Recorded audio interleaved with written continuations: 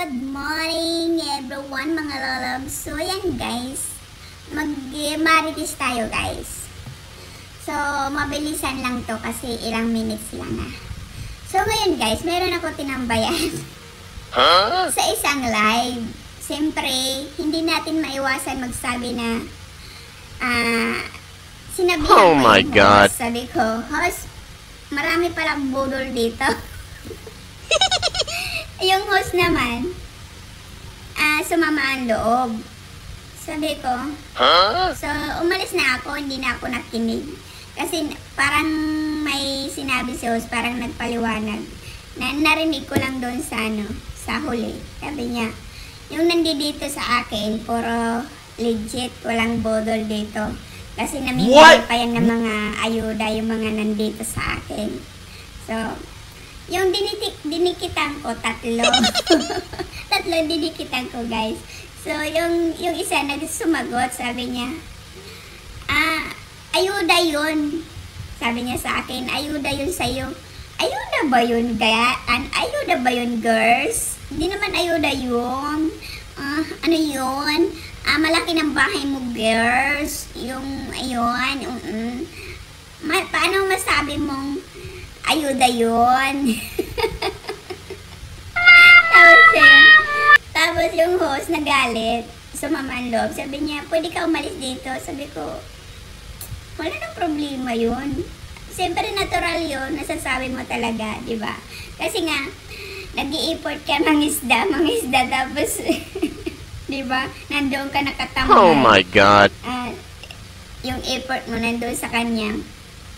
Tapos, sabi niya, sabi yung host, ipinanood nga kita, ganun, bla bla bla. Wala yung problema yun. Kung pinanood mo, tingnan mo yung, yung, ayan, yung nakarig na yan, di ba? Pag ang guhit ay pinanood mo isang video, nakaano yan, di ba? Naka, nakalagay talaga yan, yung guhit niya na pula. Ah, pag na nakalahati yan o matapos yan, talagang pinanood mo. Ayun, konti lang yung ganyan, ilang, parang ilang minutes lang yan eh. Ganyan. Kasi ako girls, mga bebe, matagal na ako YouTubers. Kaya alam ko na yung budol o hindi. Kasi legit ako. Isa na akong famous sa isang channel ko, guys. Kaya, hindi mo ako masasabi ako bodol, hindi ako bodol. Talagang gusto ko, nag effort ako talaga mangisda. Oo, nag effort talaga ako. Hindi ako, kung binibigyan ako ng ayuda, magpapasalamat ako kay host. Di ba? Ganyan. Tapos yun guys, sabi yung host.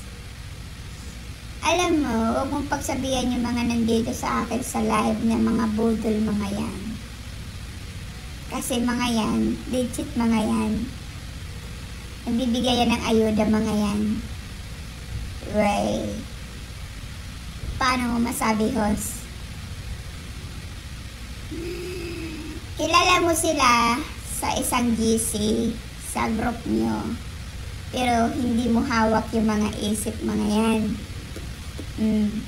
O, chipa.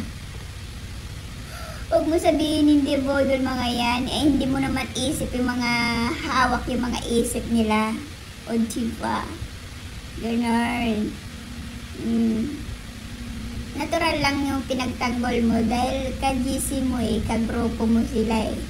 Siyempre, pagtanggol mo, kasi nga nasa live mo, mm, okay yun. Pero, hindi mo hindi mo hawak yung isip nila eh. Di ba? Pag budol talaga, budol talaga. Mm. Ganun lang yun. Mm. Tapos yung iba na doon na doon, doon, doon, doon, doon. Tapos walang comment. walang saging. Ano ako, gunggong? Matagal na ako dito sa pagwawaiti ko. Kumbaga, matanda na ako dito sa pagwawaiti. Noon-noon pa. Viral na ako. Famous na ako. Mm, ochi po. So, alam ko na dito. Kasi ko chiko.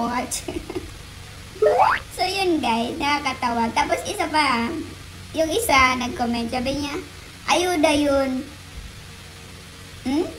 Ayuda ba yun? Anak ko, gonggong. yung bahay mo to 3,000 na tapos sabihin mo ayuda. Pinagluloko mo ako. Ayuda. Tapos yung bahay mo 3,000.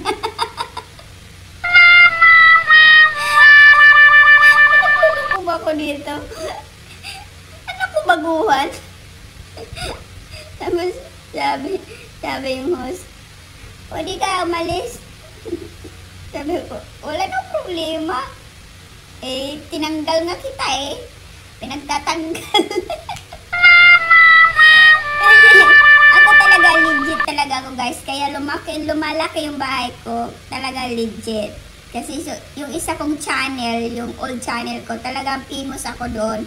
Malaki ang bahay ko doon. Nasa 20 o 17 17,000 ang aking subscriber doon. Mag, malapit na mag 20. O diba? Mm.